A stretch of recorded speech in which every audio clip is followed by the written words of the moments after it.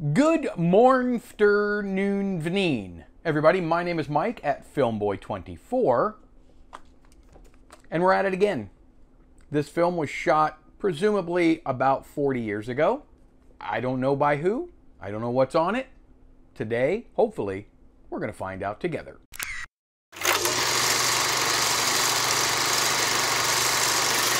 So what's this all about?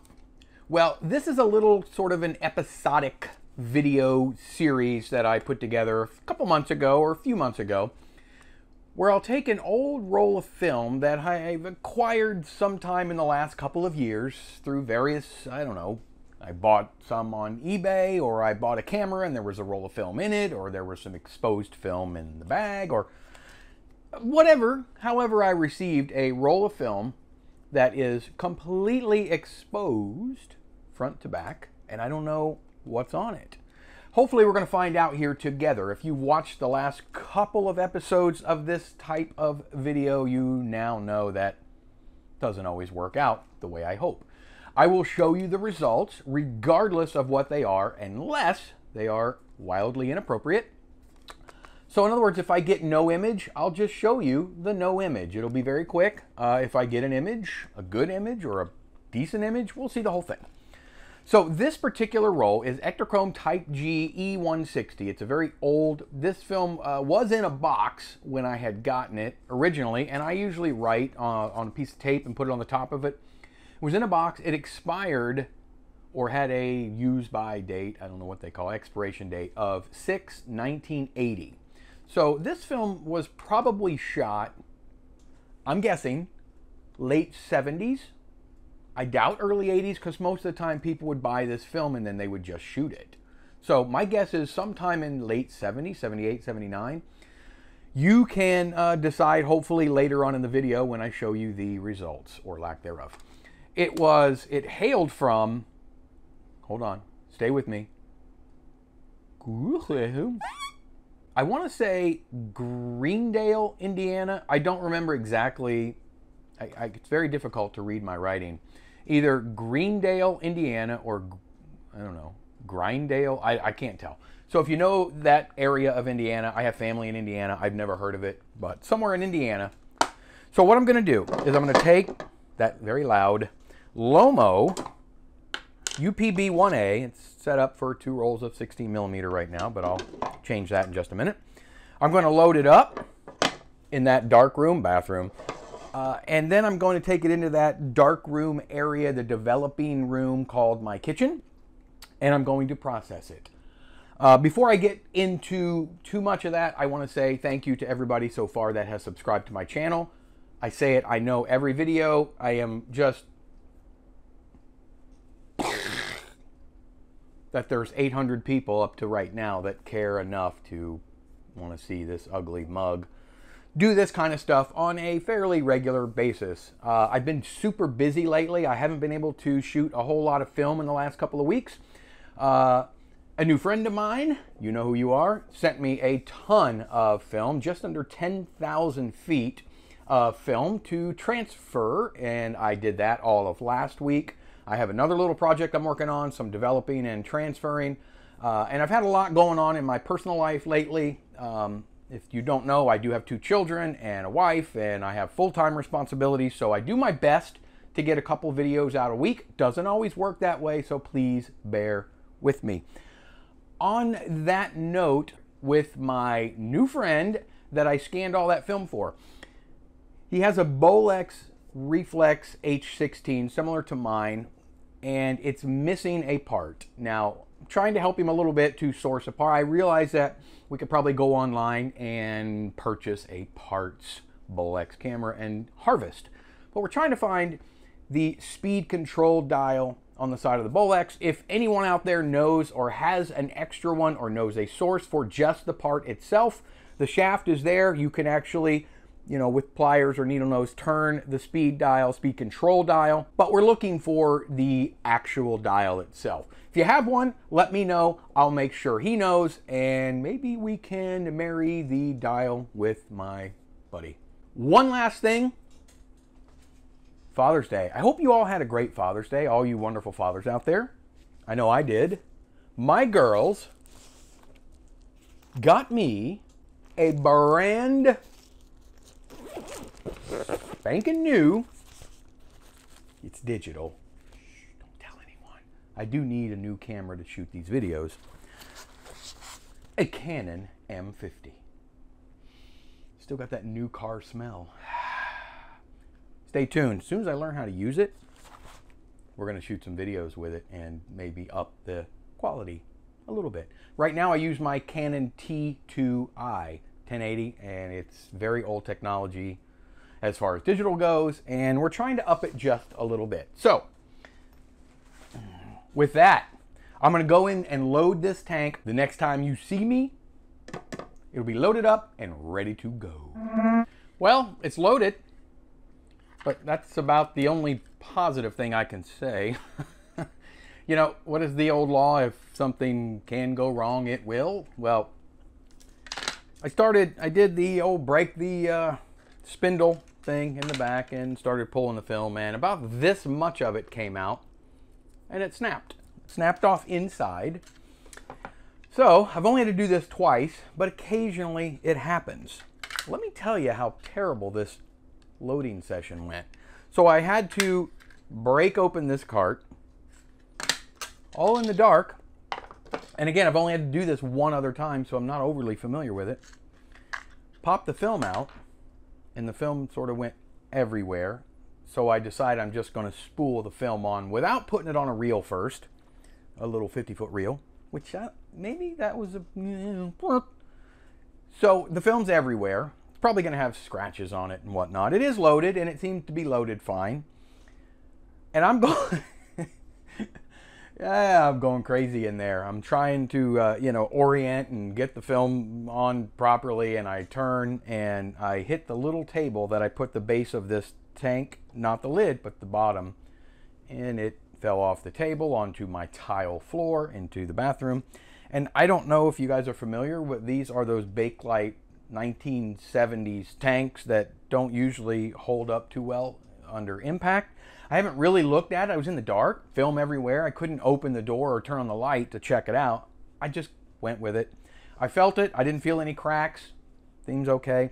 And then one other thing, while I was loading this film that was everywhere, all over the floor, unspooling and very, very tightly curled and was, yeah, stuck everywhere, I forgot I had my watch on. It's a little Apple Watch, and I raised my hand up at one point and it went on and it lit up and probably exposed a little bit of the film. So, you know, you might want to stay tuned and see what happens when we process this. Your guess is twice as good as mine, so we'll see. I'm going to throw a little montage up. It is canned. I now use Photo-Flo in the end, and it just shows sort of my process. If you don't want to watch it again, because I put it on every episode, then just fast forward through it and get to the good stuff. So I'm going to take it in there, develop. I'll see you hmm. in just a few seconds or less.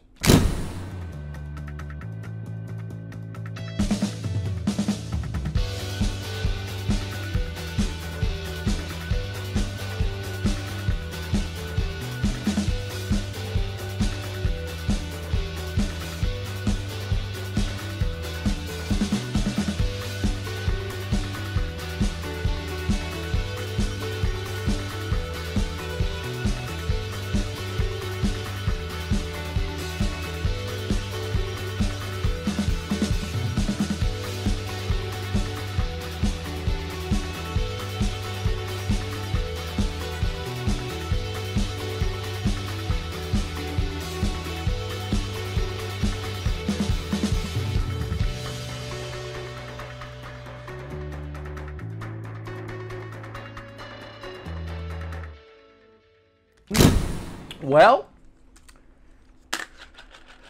after all of this and all of the mishaps, we actually got an image. It's not great, but it's an image. And I'm going to show it to you in just a second. Kind of disheartening that we are the only ones that were ever able to enjoy this. But at least some people get to enjoy it now. Uh, you'll know what I mean in a second. Um, it's the typical kind of footage that uh, I usually get. And uh, before I show it really quick, if you like this kind of video and this kind of goofiness, I don't know why my wife does, do me a favor really quick before I show the video, just punch that like button for me. Appreciate it. Appreciate it. And if you feel like subscribing, why don't you do that too? Then you can keep up with the ridiculousness that is Filmboy24. So let's get to, uh, again, the results don't expect the world. For what I had to go through to get these results, I'm pretty happy with it. Uh, here they are.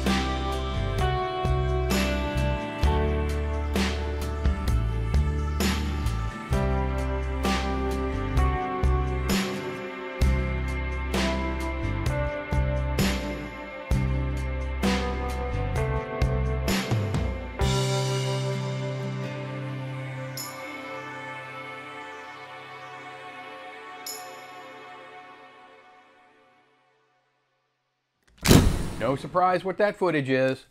Again, I wish it uh, would have come out a little bit better, a little clearer, a little sharper. Did the best I could. 40-year-old uh, film, probably late 70s, right around when my father and stepmother got married. Uh, they were married in 78, by the way. So it brings back some memories, and I wish that the people, or at least someone in that wedding party was able to view it. However, they're not. The film itself, it did a couple of little funky things. For one, it, there's no real sharpness to it. It's not overly unusual for 40-year-old film that was shot 40 years ago. Uh, I'd like it to be a little more crisp, a little sharper. Didn't really happen.